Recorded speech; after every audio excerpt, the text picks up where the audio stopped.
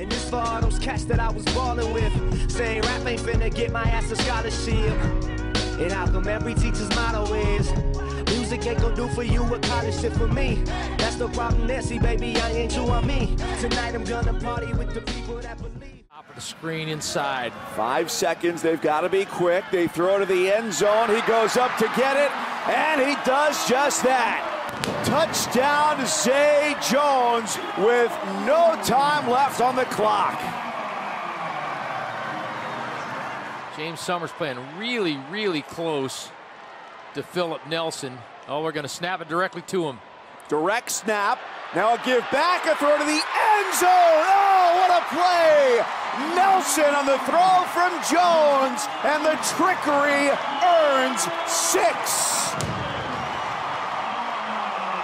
It's been a pretty good job by the Pirates today, or this season rather, and now Jones on the catch, so they're spreading it around, and Jones continuing to drag tacklers all the way down to the 46.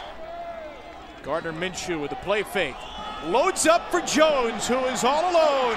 Zay Jones to the house.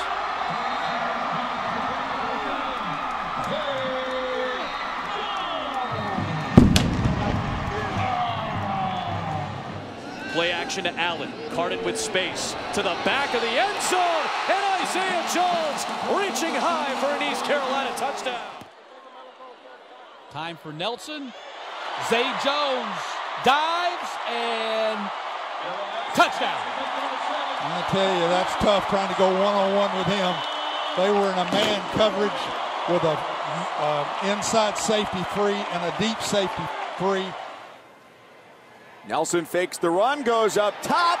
You got to feed the big man. Zay Jones deserving of the touchdown after what he's done this afternoon.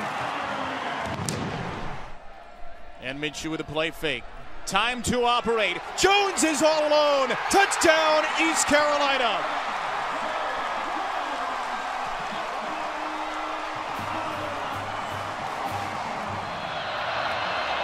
Throws near side. Isaiah Jones diving for the goal line. Touchdown, Pirates.